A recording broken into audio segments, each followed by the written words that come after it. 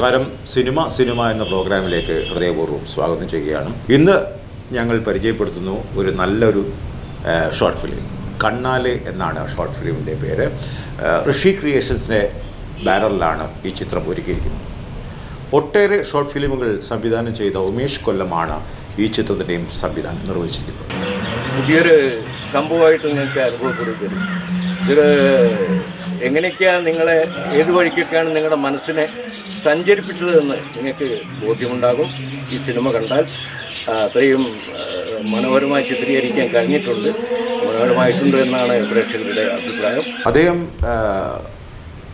കഴിഞ്ഞ അകം എന്നൊരു ഷോർട്ട് ഫിലിമിന് നിരവധി പുരസ്കാരങ്ങൾ ഇന്റർനാഷണൽ പുരസ്കാരങ്ങൾ വരെ നേടിയിട്ടുണ്ട്. അതുപോലെ ഈ ഈ കണ്ണാലി എന്ന ഷോർട്ട് ഫിലിമിനും നിരവധി പുരസ്കാരങ്ങൾ തേടിയെത്തുകയുണ്ടായി.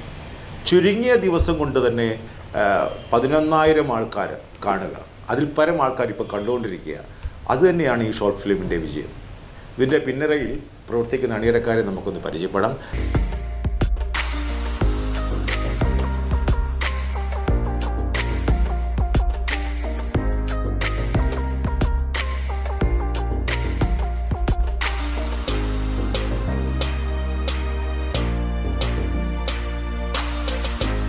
ക്രിയേറ്റീവ് സപ്പോർട്ട് എന്ന് പറഞ്ഞാൽ തന്നെ അതിന്റെ ഒരു ഘടകം. ഒരു ഒരു ഒരു സിനിമയെ സംബന്ധിച്ചോളം വളരെ വളരെ പ്രാധാന്യമുള്ള സംഭവമാണ്. എങ്ങനെയാണ് ഈ ഒരു രംഗത്തേക്ക്? ഞാൻ ഈ രംഗത്തേക്ക് വരുന്നത് ശരിക്കും കെ കെ രാജീവ് എന്ന് പറയുന്ന സംവിധായകന്റെ ഇഷ്ടമായിരുന്നു. ഈ അങ്ങനെയാണ് ഞാൻ ഈ ഒരു മേഖലയിലേക്ക് വരുന്നത്. പിന്നീട് ഈ വർക്കിൽ ഇതിന്റെ നന്ദി പ്രകാശ് എന്ന് പറയുന്ന എന്റെ ഒരു സുഹൃത്ത് തന്നെയാണ് ഇതിന്റെ തിരക്കഥ എഴുതിയിരിക്കുന്നത്. അദ്ദേഹമാണ് വിളിച്ച് പറയുന്നത്. ഇങ്ങനെ ഒരു വർക്കുണ്ട് ഇതായിട്ടൊന്ന് പ്രവർത്തിക്കണം എന്ന് പറഞ്ഞു. അങ്ങനെ ഞാനിവിടെ വന്നു. വന്നപ്പം ഉമേഷ് ചേട്ടനെ കാണുന്നു. ഉമേഷ് ചേട്ടനെ പരിചയപ്പെടുന്നു. റിട്ടയർഡ് ഒരു എസ് ഐ ആണ്. അതിലുപരി വലിയൊരു കലാകാരനാണ്. തികച്ചും പുതുമയാർന്ന ഒരു പ്രമേയമാണ് ഇതിൽ അവതരിപ്പിച്ചിരിക്കുന്നത്. കാരണം നമ്മൾ കണ്ടിരിക്കേണ്ട ഒരു കൊച്ചു ചിത്രം ഒരു ഗ്രാമീണ ഒരു ഗ്രാമത്തിന്റെ നൈർമല്യതയുള്ള ആ കൊച്ചു ചിത്രം. ബോൾഡായിട്ടെന്ന് പറയുന്ന ഒരു കാര്യമാണ് എനിക്ക് ഗവൺമെന്റ് ജോലിയുള്ള ആ, ആളെ ഭർത്താവായി അതൊരു പെണ്ണിന്റെ ഒരു എന്താ പറയുക താല്പര്യമാണ്. അത് അവളുടെ ഒരു ബോൾഡാണ് അവിടെ കാണിക്കുന്നത്. അതാണ് അതിലൂടെ ആ കഥാപാത്രത്തിന് ഉദ്ദേശിക്കുന്നത്. പിന്നെ അതിനെ എല്ലാവരും ഏറ്റെടുത്തു സന്തോഷം. ഇപ്പൊ മാറിക്കോളും.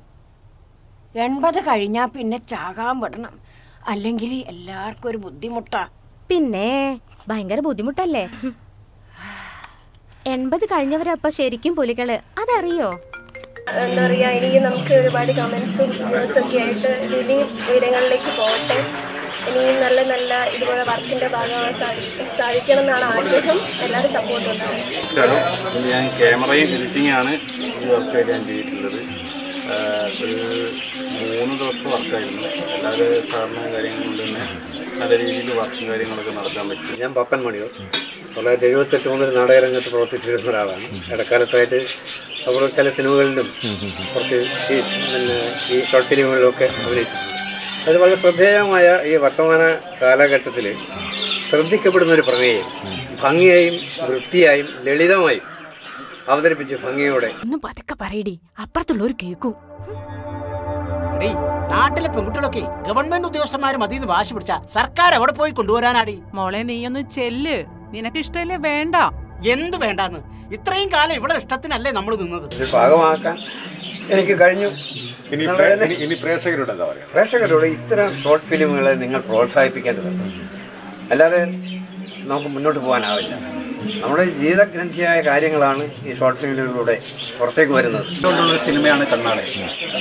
അതിന്റെ ഒരു വിഷയം സമകാലീന പ്രസക്തമായ ഒരു വിഷയം. അത് എങ്ങനെ സമൂഹത്തിന് ഒരു പാഠം അല്ലെങ്കിൽ അതിൽ നിന്ന് പഠിക്കാനുള്ളത് എന്നുള്ള രീതിയിലാണ് അത് ക്രിയേറ്റ് ചെയ്തത്. അന്നത്തെ ആ സംഭവം കൊണ്ട് ആ പയ്യനൊരു ഗുണമുണ്ടായി.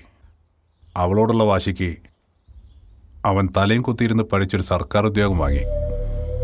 ഏറ്റവും മനോഹരമായി അതിലെ നടീനടന്മാരെല്ലാം തന്നെ ആത്മാർത്ഥത പുലർത്തി അഭിനയിച്ചു എന്നുള്ളതാണ്.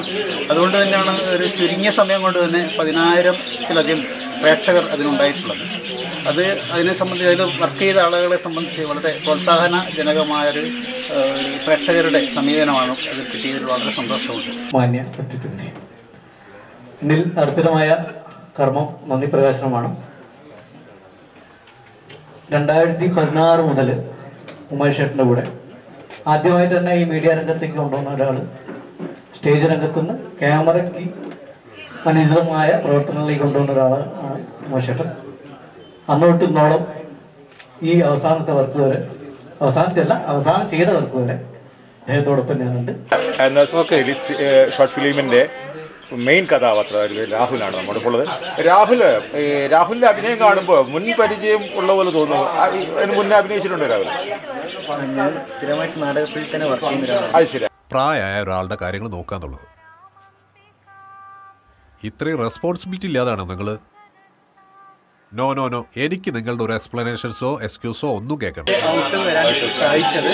അപ്പോൾ അതിലൊരു ഭാഗമാവാൻ കഴിഞ്ഞു എന്ന് പറഞ്ഞാണ് എന്റെ ഏറ്റവും വലിയ സന്തോഷം. ഇനി പ്രേക്ഷകരോട് എന്താ പറയുക? പ്രേക്ഷകരോട് കാണുക നിങ്ങളുടെ വിലയിരുത്തലുകൾ ഞങ്ങൾക്ക് നിർദ്ദേശിക്കുക. എന്തൊക്കെയാണ് നിങ്ങളുടെ പോരായ്മകളുടെ നമ്മൾ അറിയിക്കുക. നിങ്ങളുടെ ഇഷ്ടങ്ങൾ നമ്മളിലേക്ക് എത്തിക്കുക ആഗ്രഹിക്കുക. ഏതായാലും ഈ നല്ല സിനിമ നിങ്ങൾ പ്രേക്ഷകർക്ക് വിട്ടുതരികയാണ്. കാണുക അഭിപ്രായങ്ങൾ അറിയിക്കുക ഷെയർ ചെയ്യുക. ഈ ചിത്രത്തെ വൻ വിജയമാക്കുക. അടുത്ത ഒരു എപ്പിസോഡുമായി കാണുന്നവരെ നന്ദി നമസ്കാരം.